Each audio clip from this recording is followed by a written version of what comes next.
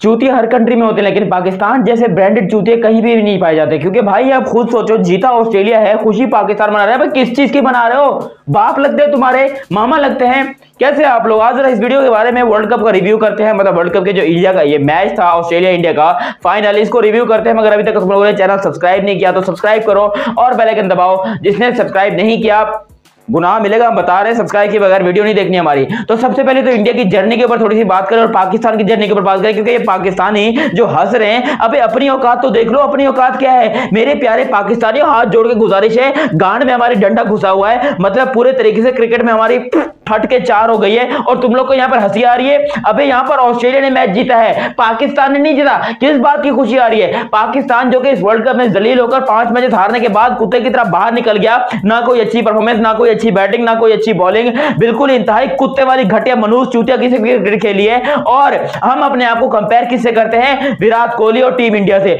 और विराट कोहली के बारे में आपको बताऊँ वर्ल्ड कप में हाईएस्ट रन स्कोरर हैं?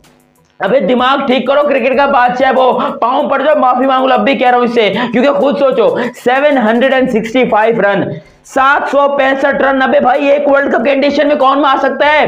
कौन एक वर्ल्ड कप के एडिशन में सात सौ पैंसठ रन मार सकता है? ये। ये है विराट कोहली, जो आपको सात सौ पैंसठ रन मार के देते हैं एक वर्ल्ड कप के अंदर। और रोहित शर्मा 596 रन लोग कहते हैं वर्ल्ड कप में उसने रन नहीं बनाए। जल्दी और अबे तो फाइव सिक्स रन क्या उसने तुम्हारे घर में घुस के बना दिए?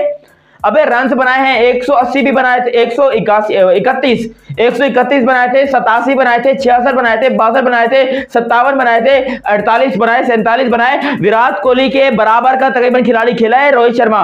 बस उसकी हंड्रेड कम है फिफ्टी कम है तो तुम्हें लग रहा है कि भाई, शायद उसने अच्छा नहीं खेला। हालाँकि वर्ल्ड कप में सबसे अच्छी क्रिकेट खेली है टीम इंडिया ने, मोहम्मद शमी। वर्ल्ड कप के हाईएस्ट विकेट टेकर है, भाई, हलवा समझ के रखा है तुमने।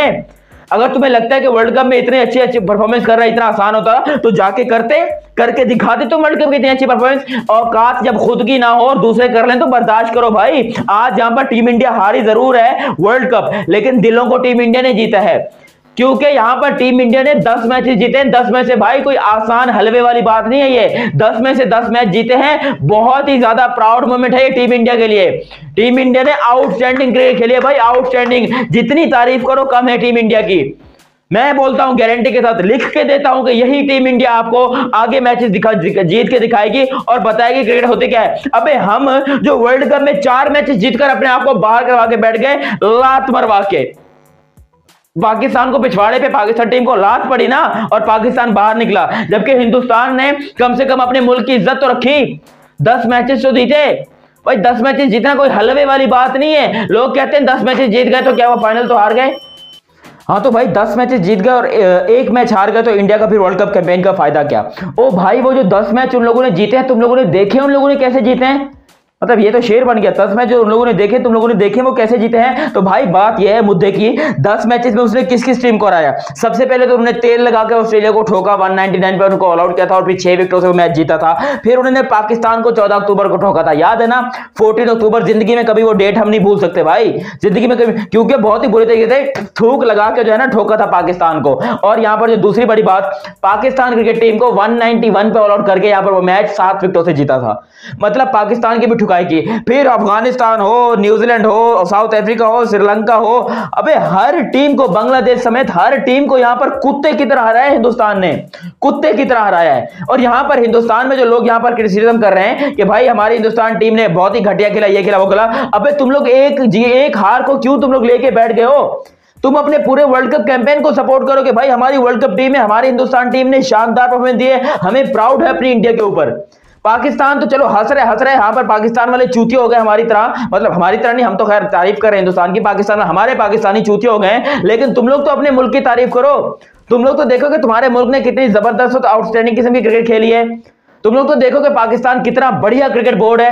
मतलब कितना चूतिया क्रिकेट बोर्ड है।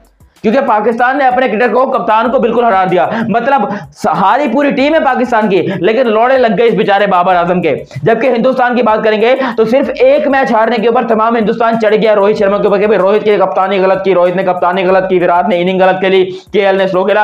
अबे भाई, एक गलती नहीं पकड़ो। अगर इसकी तरह पाँच मैचेस हारो तो फिर आप सोच भी सकते हैं कि तुम्हारा दर्द जो है वो बहुत ज़्यादा है। क्योंकि हम पाँच पाँच हार का दर्द भी लेके सहे हुए हैं।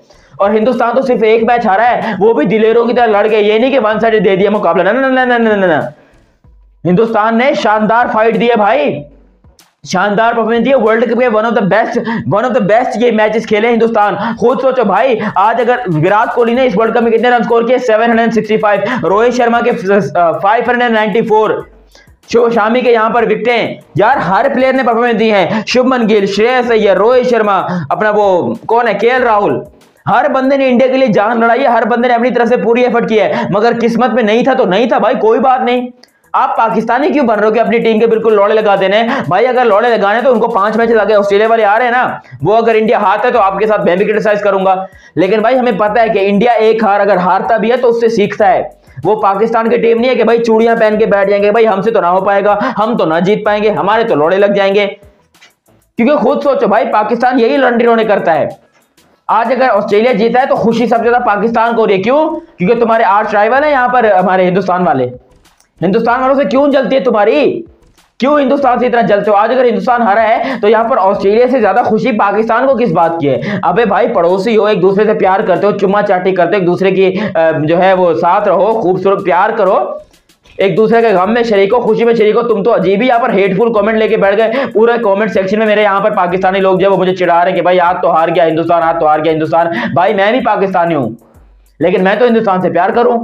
मैं तो हिंदुस्तान क्रिकेट टीम को लव करूँ। विराट कोहली मेरा पहला प्यार है। लेकिन तुम लोग समझते नहीं हो बात को। तुम लोगों को पता नहीं कौन सी खुन्ना से, कौन सी जलन है हिंदुस्तान से कि भाई, हिंदुस्तान की इतनी बुराई करनी है, हिंदुस्तान को क्रिटिसाइज करना है बार बार क्रिटिसाइज करना है, एक बार नहीं, हज़ार बार क्रिटिसाइज करना है। क्यों करना है क्रिटिसाइज हिंदुस्तान को?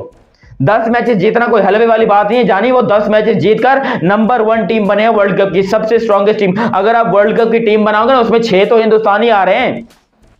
पूरे वर्ल्ड कप की टीम बनाओ तो छह तो सिर्फ़ हिंदुस्तानी आ रहे हैं और पाकिस्तानी तो कोई आ भी नहीं रहा। खुद सोचो, हिंदुस्तान ने पूरी अपनी जान लड़ा दी वर्ल्ड कप के लिए।